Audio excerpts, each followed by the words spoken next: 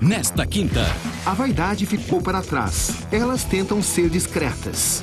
Elas são consideradas idosas e se prostituem. Usam as armas que podem na conquista de fregueses. O que reserva a vida para uma pessoa idosa, ainda profissional do sexo?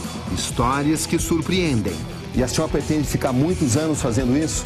Conexão Repórter com Roberto Cabrini. Nesta quinta, meia-noite, no SBT.